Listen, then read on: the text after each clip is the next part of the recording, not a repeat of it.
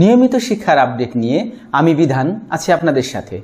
তো শুরু করা যাক আজকের এই ভিডিও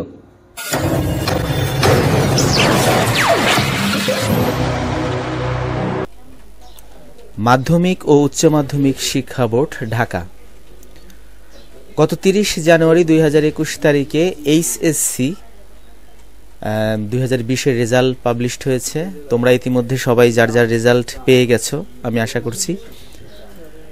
তো দুই হাজার বিশের এই এইচএসসি অটো পাশে যাদের রেজাল্ট মন মতো হয়নি বা কাঙ্ক্ষিত ফলাফল আসেনি, তারা অনেকেই হতাশ যে আমি আমার রেজাল্ট নিয়ে আসলে খুবই সংকোচ বোধ করতেছি।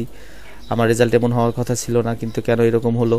তো ইত্যাদি বিষয়গুলো নিয়ে ঢাকা শিক্ষা বোর্ড এবং সরকারের সিদ্ধান্ত মতে মাধ্যমিক, উচ্চ মাধ্যমিক শিক্ষা বোর্ড খাতা পুনঃনিরীক্ষণের জন্য আবেদন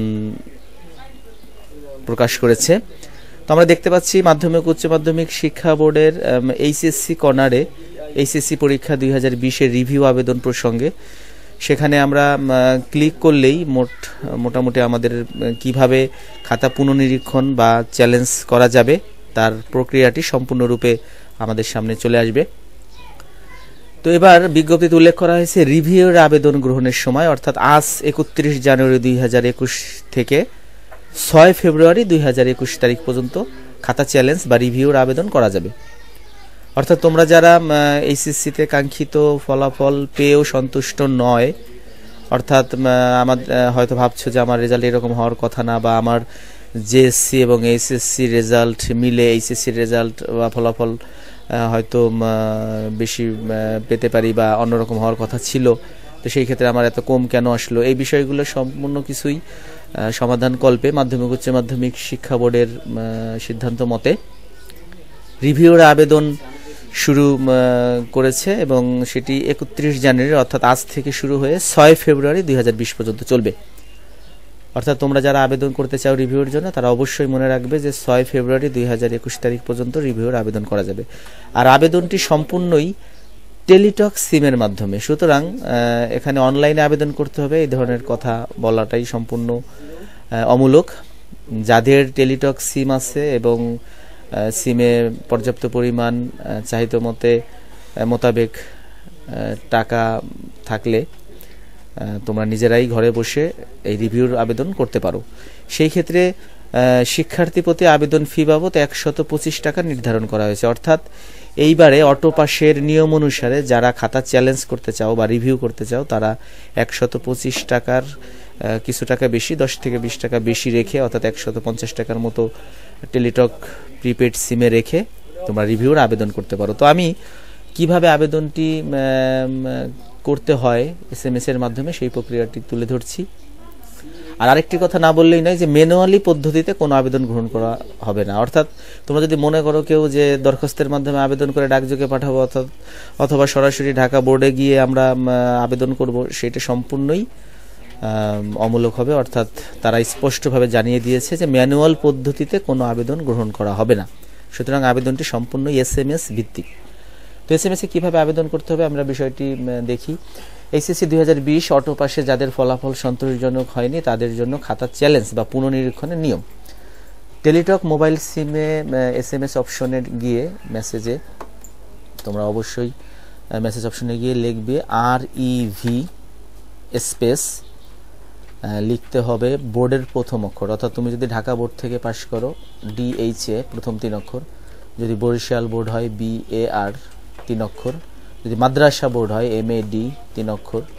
টেকনিক্যাল বোর্ড হয়, টেকনিক্যাল টিইসি তিন অক্ষর এরকমভাবে প্রথম তিন অক্ষর লিখতে হবে বোর্ডে।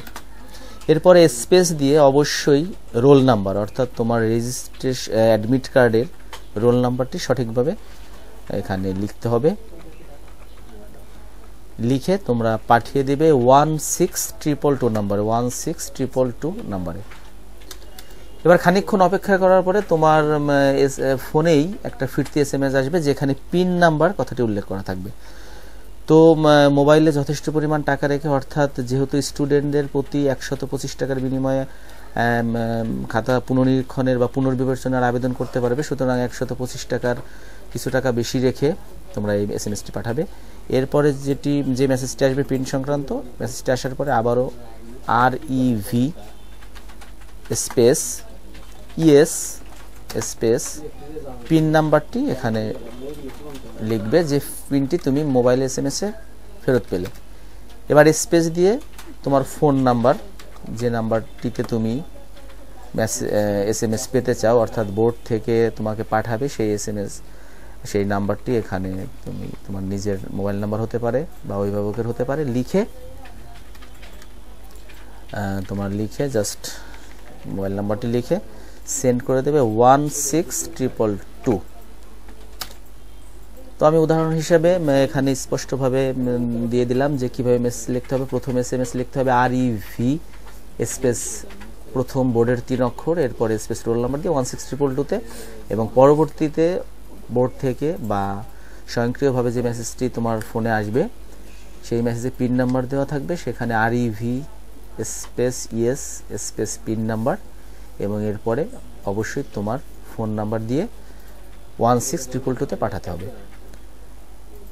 পাঠানোর পরে তোমার মেসেজটি রিসিভড হবে এবং পরবর্তীতে যখন ফলাফল প্রকাশ হবে, অর্থাৎ পুনর্বিবেচনার যে ফলাফল প্রকাশ হবে, সেই ফলাফলটি তোমার এস এম এসে ওই তোমার দেওয়া বা প্রদত্ত যে মোবাইল নাম্বার, সেই মোবাইল নাম্বারে পেয়ে যাবে। তো এই বিষয়টি আসলে ফলাফল পুনর্বিবেচনার জন্য মেসেজের সম্পূর্ণ প্রক্রিয়াটি। তো তোমরা যারাই আবেদন করতে চাও, অর্থাৎ পুনর্বিবেচনার বা রিভিউর জন্য যারা আবেদন করবে, তারা অবশ্যই মনে রাখবে, আবেদনের শেষ তারিখ ছয় ফেব্রুয়ারি দুই হাজার একুশ।